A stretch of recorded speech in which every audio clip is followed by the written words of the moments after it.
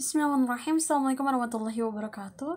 Hai bos bis. Ketemu lagi sama Ating di youtube channel Tang Bos. Channel yang siap menolong masalah bos bis semua. Nah kali ini Ating bakal ngasih tau sama bos bis di rumah Cara mengetahui kontak yang diblokir di line. Uh, Yang pertama sini bos bis bisa buka aplikasi line bos bis. Nah, untuk mengetahui uh, kontak yang diblokir, di sini Bos Bis bisa klik yang setelan di atas. Lalu di sini scroll ke bawah.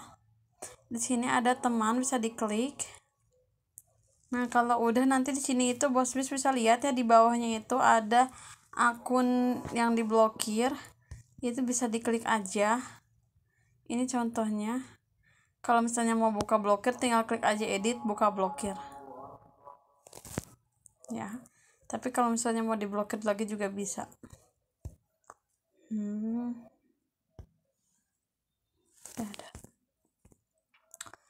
Oke, jadi itu adalah cara mengetahui kontak yang diblokir. Mungkin video cukupkan sekian, semoga bermanfaat.